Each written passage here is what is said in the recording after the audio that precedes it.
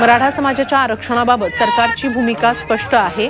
कोणत्याही समाजाच्या आरक्षणाला धक्का न लावता मराठा समाजाला आरक्षण देण्यात येईल असं मुख्यमंत्र्यांनी आज पुन्हा एकदा म्हटलं. धर्माधर्मात कलगीतुरा लावण्याचं काम थांबवायला हवं अशी टीका खासदार अमोल कोल्हे यांनी देवेंद्र फडणवीसांवर केली.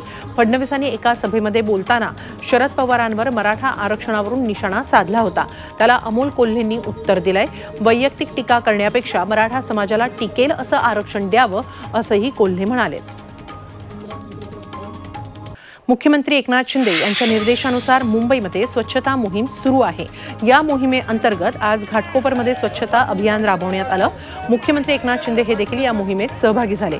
पालकमंत्री मंगलप्रभात लोढा मनपा आयुक्त इक्बाल सिंग चहल हे देखील उपक्रमात सामील झाले. मुख्यमंत्री एकनाथ शिंदे यांनी टिळकनगरमध्ये स्वच्छता अभियानाचा आढावा घेतला.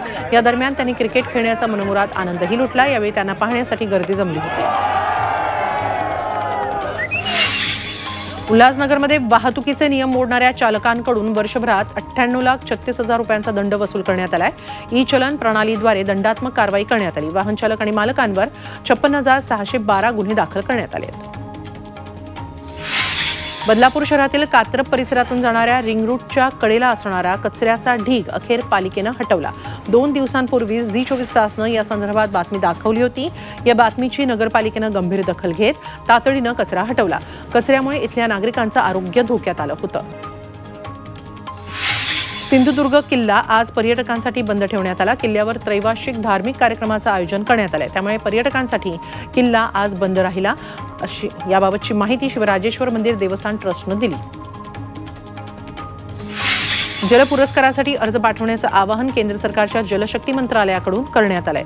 जलसंवर्धन आणि व्यवस्थापनावर उत्कृष्ट काम करणाऱ्या व्यक्ती आणि संस्थांना पुरस्कार दिला जातो. एकतीस डिसेंबरपर्यंत अर्ज भरण्याच्या सूचना करण्यात आल्या आहेत. जागतिक आरोग्य संघटनेनं भारताला कोरोनाच्या नव्या व्हॅरियंट संदर्भात इशारा दिलाय. कोरोनाचा नवा व्हेरियंट जेएन वनपासून सावधगिरी बाळगण्याचा इशारा डब्ल्यू एच ओनं दिलाय. धक्कादायक म्हणजे केरळच्या त्रिवेंद्रममध्ये जेएन पॉईंट वन हा नवा व्हॅरियंट सापडलाय. त्यामुळे सर्व राज्यांना अलर्ट देण्यात आलाय.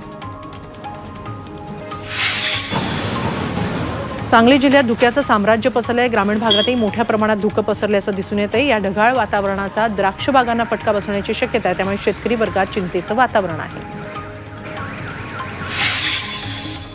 धुळे शहरासह जिल्ह्याचं तापमान गेल्या दोन दिवसांपासून झपाट्यानं खाली आलंय. जिल्ह्यात तापमानाचा पारा दहा अंश सेल्सिअसवर पोहोचलाय.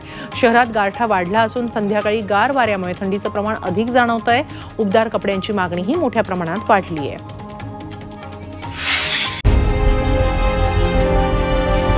विकासाचा ध्यास म्हणजे